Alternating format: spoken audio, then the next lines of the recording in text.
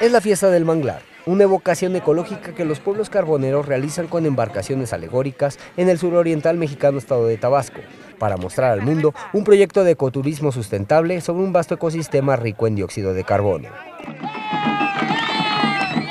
Anualmente, en las primeras semanas de febrero, los habitantes de Lázaro Cárdenas realizan este festejo. Ejidatarios, pescadores y carboneros cuidan más de 2.300 hectáreas de lagunas y humedales, un proyecto de ecoturismo sustentable denominado Cinco Lagunas. Que va a ser un atractivo más para el ecoturismo. Nosotros vamos a, vamos a enclavar, si Dios quiere y nos ayudan, palapas en todas las lagunas. nosotros lo podemos hacer, tenemos toda la iniciativa.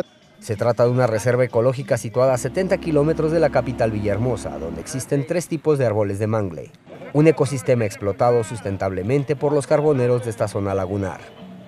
Cultivamos el mangle, reforestamos el mangle y de ahí dependió de hacer el carbón.